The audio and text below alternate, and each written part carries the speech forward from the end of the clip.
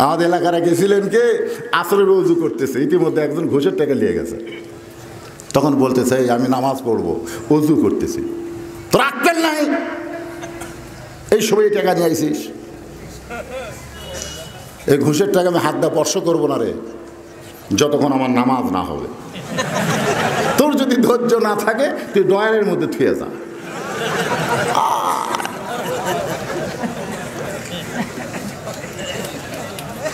ওপর দিয়ে নেই না, তল দিয়ে নেই। কেউ না দেখল আল্লাহ দেখে। তাহলে একটা ইমান ভিতরে নিয়ে আসেন। বাংলাদেশে কোনো দুর্নীতি থাকবে না, কোনো অপরাধ থাকবে না। ধরে কোন কথা ঠিক কিনা আছে। ওয়াজ করে কেবল টেস্ট থেকে নামছি। ইতিমধ্যে একজন দৌড়েছে, হাতের মধ্যে চকচকা। একশো টাকার নোট দিয়ে বলতে হুজুর, দোয়া করেন। একশো টাকার নোট দেখে খুব ভালো লাগল, পকেটে রাখা দিলেন। রাখা বললাম, ভাই, কিসের দোয়া? কয়, বইয়ের পেটে বাচ্চা আইসে আল্লাহ যেন একটা পুত্র দেয়। যেই কোসে পুত্র দেয়, তখন আমি বুঝতে পারলাম তো আমার ক্যাপাসিটি নেই। আমি পকেট থেকে দুইশো টাকা বের করে আর হাতত দিলেন ও বলে, আমি দিলাম একশো, আপনি দিলেন দুইশো। আমি বললাম, কানটা আমার মুখের কাছেতে। ওর কানটা যখন মুখের কাছেতে ফিস ফিস করে বললাম, তিনটা মেয়ের বাপ। তিনটা মেয়ের বাপ, আল্লাহ আমাকে একটা পুত্র সন্তান দেয়নি। যতবার বইয়ের পেটে বাচ্চা আইছে প্রত্যেকবারে দোয়া করছে, আল্লাহ একটা পুত্র দিও আল্লাহ, এবার একটা পুত্র দেও আল্লাহ। তো আমার দোয়া দিয়ে যদি আমার বইয়ের ডাই বেটা না হয়, তাহলে তোর বইয়েরটা হবে? সঙ্গে সঙ্গে বলতে তো হুজুর, আপনার টাকা আপনি নেন হামাকটা হামাক দেন। ওরে যে একশো টাকা দিলাম মারতেছে, পিছন দিক গিয়ে দৌড়া গিয়ে ধরলা, বললাম, ভাই, কোথায় যাবা? বলে, যেই হুজুরের বেটা চলাস আমি তার কাছে যাব।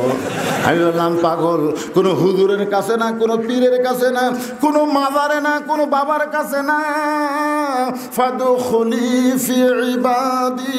যদি আল্লাহর দাসত্বের শৃঙ্খলে নিজকে রাখতে চাও, তাহলে কেবল মাত্র আল্লাহর কাছেই চাও। আল্লাহ ছাড়া কারও কাছে চাওয়া যাবে না। এটাই হচ্ছে আল্লাহর দাসত্ব। আপনারা জানেন আমার ডায়াবেটিস কত জানেন? ডাক্তার আমারে কইছে, ওয়াজ বন্ধ করে দেন। আর ওয়াজ যদি করেন, প্রতি ঘন্টায় আপনাকে একবার করে পেশাব করা লাগবে। কারণ ওয়াজ করার সময় ঝাঁকি যাবে নিচের দিকে। আপনি পেশাব যদি জমা রাখেন, তাহলে আপনার কিডনি ফেল করবে। তাই বললাম এক ঘণ্টা করে পেশাব করবার গেলে আমাকে দাওয়াত দিবি। তো তাহলে ওয়াজ করে বাদ দেন। কিন্তু আপনারা কি কোনোদিন দেখছেন যে আমি এক ঘণ্টা ওয়াজ করে সভাপতির কাছে মাইক দিয়ে পেশাব করবার গেছি? কথা কয় না কেন? গেছি? কেন যাই না এই পেশাব আমার লাগলেও আমি যাই না। আল্লাহর কোরআনের দিকে মহব্বত করে আমি বসে থাকি। আপনাদের যারা পেশাব লাগতেছে, পেশাব লাগার পরেও আপনারা যাবেন না। আল্লাহর কোরআনের মহব্বতে বসে থাকেন। আমি কোরআনকে সামনে নিয়ে বলতেছি, পেশাব জাতীয় যত ব্যারাম আছে, এই কোরআনের ওসিলায় আল্লাহ সব ভালো করে দিবে। জোরে করে আল্লাহ পারে কি পারে না? এত উঠবস করেন কেন? আপনারা কি কোরআনের বন্ধু না শত্রু? আরও জোরে। তাহলে এইবার যারা উঠবে, ও তো মুরব্বী উঠছে আর আর সহ্য করে পারতেছে না। ঠিক আছে, যান। দুই একজনের পেশাব লাগবে, যাবেন, অসুবিধা নেই। পেশাব বন্ধ করে আওয়াজ শোনা লাগবে না। কিন্তু যদি বন্ধ করে শোনেন তাদের জন্য আমি বললাম, কোরআনের মহব্বতে, কোরআনের উসিলায় আল্লাহ পাক তাদের এই ব্যায়াম ভালো করে দিবার পারে কি পারে না? ধরে কোন পারে কি পারে না? একটু মনোযোগ দিয়ে কথাগুলো শুনবেন। হজরত তোমার রাখালকে বল একটা হলো ডাইরেক্ট বলা, আর একটা হলো ইনডাইরেক্ট আল্লাহ বলেছেন ও দো ইলা সাবিলি রব্বিকা বিল হিকমা মাওয়াইজাতুল হাসান। এখন তো বর্তমান যে পরিবেশ, সব কথা ডাইরেক্ট বলা যাবে। যেরকম যাবে। শোনেন, জাগা মতো নাউজুবিল্লাহ করে লাভ কি জানেন? একটা ছেলে খাড়া হয়ে পেশাব করতেছে। ওই মসজিদের দরজার যা বলতেছে, নাউজুবিল্লাহ নাউজুবিল্লাহ, ছেলেগুলো নষ্ট হয়ে গেল, জানোয়ারের মতন দাঁড়ায় পেশাব করতেছে। আপনার বলেন তো, যতবার নাউজুবিল্লাহ বলুক, ওই বসবি? তখন ওই বসবে? কিন্তু যেখানে পেশাব করতেছে, বিড়ালের মতন আস্তে আস্তে যায় পিছনে যদি যায় বলার সাথে সাথে এমন করে সেন্ট টানবি, চামড়া আটকে দেবি। তোর কোন কথা ঠিক কিনা? তো জাগা মতো নাউজুবিল্লা কর পারবেন না? না নাউজুবিল্লা বলতে আপনাকে ভয় লাগতেছে। শোনেন, আওয়ামী লীগ যারা করে তাই বলে মনে করেন না যে তারা ইসলামের শত্রু, বরং মৌলিক বিষয় আওয়ামী লীগ, বিএনপি জাতীয় পার্টি, জামাত ইসলাম তাবলিক পীর মুরিদি, তাদের মধ্যে কোনো মতভেদ নাই। আল্লাহর মধ্যে, রাসুলের মধ্যে, কোরআনের মধ্যে, তাদের মধ্যে কোনো মতভেদ নাই সবাই কোরআনের জন্য আল্লাহ রাসুলের জন্য জীবন দিবে, জোরে করে কথা ঠিক না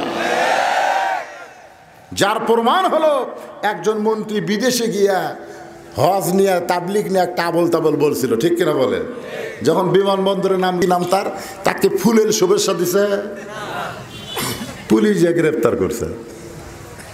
তার মানে বোঝা গেল যিনি আওয়ামী লীগের একজন নেতা হওয়ার পরেও নবীর বিরুদ্ধে, হজের বিরুদ্ধে বললে তোমার বাঁচা নাই। বর্তমান প্রধানমন্ত্রী অত্যন্ত ধর্মভীরু। যার কারণে এইগুলোকে সার দিবে না তোর এখন কথা ঠিক কিনা? তবে আমাদের একটু হাঁ হু করা দরকার। দেখলাম যে টুপিওয়ালারাই ওই যে উনি যখন বক্তব্য দিচ্ছে বিসমিল্লার বিরুদ্ধে কেড়ে পাগলা? প্রত্যেকটা দলের নেতারাই মাইকে কথা বলার আগে বিসমিল্লাহ রহমান রহিম কয় কি কয় না? ধরে কয় কি কয় না? হ্যাঁ বলে না? সবাই বলে। অথচ একটা হুজুরও বলল না যে আপনি এটা কেন বলতেছেন? কারণ বললি তো বিপদ। তো যদি ডাইরেক্ট বলা না যায়, তাহলে কি করা লাগবে? ইনডাইরেক্ট বলতে হবে, আমি যদি ওই জায়গায় থাকতাম, তাহলে টাকলু বাবাকে আমি অ্যাঙ্গেলে মার দিতাম। কি মনে করছেন? ইফতার পার্টি চলতেছে রমজান মাসে, একজনও রোজা নাই। খালি ঘড়ি দেখতেছে। কে বাবা, তোরা রোজা নাই, তোর কে এত ঘড়ি দেখা লাগবে বারবার ঘড়ি দেখতেছে। ইফতার কমিটির সভাপতি আমাকে বলতে হুজুর, ভালো করে দোয়া করেন, হাজার হাজার টাকা খরচ করছি। আপনি কন যতগুলো ইফতার পার্টিতে গেছেন এত আইটেম পাচ্ছেন। ভালো করে দোয়া করেন। আমি হাত তোলার সাথে সাথে আমার বিবেক বলে দিল, যারা রোজা না ইফতার নিয়ে বসে আছে, এর ক্ষেত্রে ভালো দোয়া করেন হাদিসের কোন জায়গা আছে? তা আমি এখন বাংলায় দোয়া করলে ধরা খাব। এই জন্য আরবিতে গড় দোয়া আছে না নাই? রোজা না রাখলে তাদের কি হবে? এইগুলা গড় দোয়া আরবিতে করতেছি। ওরা না বুঝে খালি আমিন আমিন বলতেছে। আমি মনে মনে কইলাম, আলেমদের বিরুদ্ধে লাগো না। আলেম যখন বাংলাতে পারবে না, তখন আরবিতে মার দিয়া যাবে।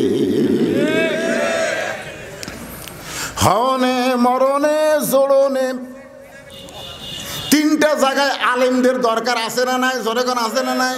যখন আপনি হবেন একজন আলেম আজান দিয়েছে, যখন আপনার বিয়ে হবে, একজন আলেম আপনাকে তুলে দিয়েছে, আবার যখন মরে যাহাবেন একজন আলেম আপনার জানাজার নামাজ পড়াবে। কোনো জায়গাত না লাগলেও এই তিনটা জায়গাত আলেমের দরকার আছে না নাই?